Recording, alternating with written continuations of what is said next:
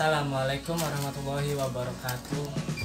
Bertemu lagi dengan saya di Aditya Aji.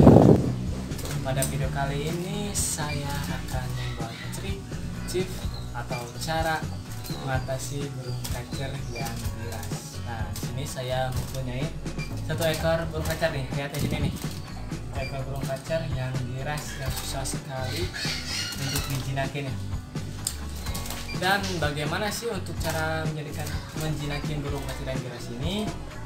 Tonton video kali ini sampai selesai.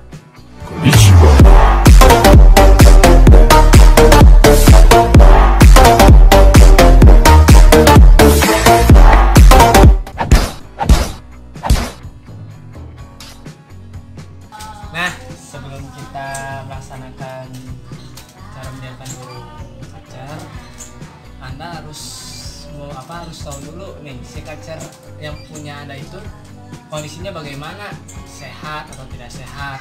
Misalkan sih sehat ya, misalkan kacernya harus sehat, harus fit, stabilannya bagus. Kalau misalnya kacer Anda tidak sehat, saya harapkan jangan jangan untuk diterapi sauna. Nah, sebelum kita melaksanakan terapi sauna kerodong basah, burung basah, kita harus mengambil dulu cepuk dan makanannya. Kita harus ambil dulu nih. Ini, ini.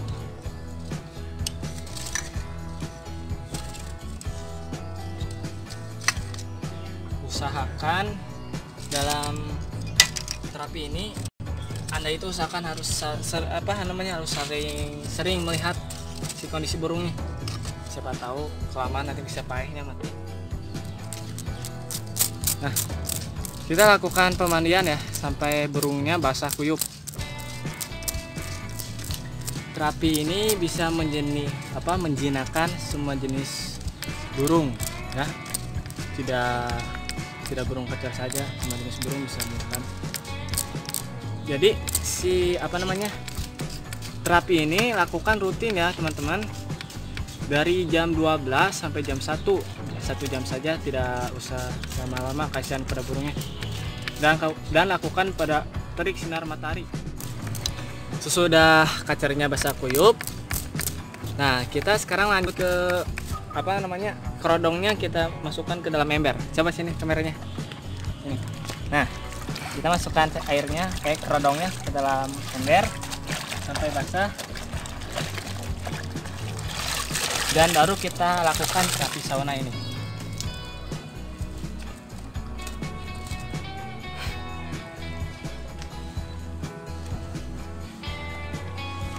sangat biasa sekali ya teman-teman lakukan terapi sauna ini setiap hari.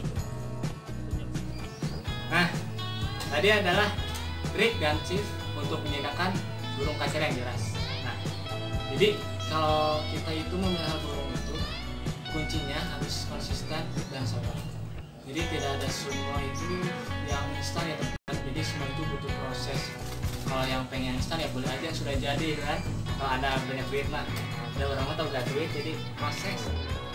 Ada pepatah mengatakan proses tidak akan mengkhianati hasil Anda harus percaya itu ya teman jadi semua itu butuh proses jangan yang instan.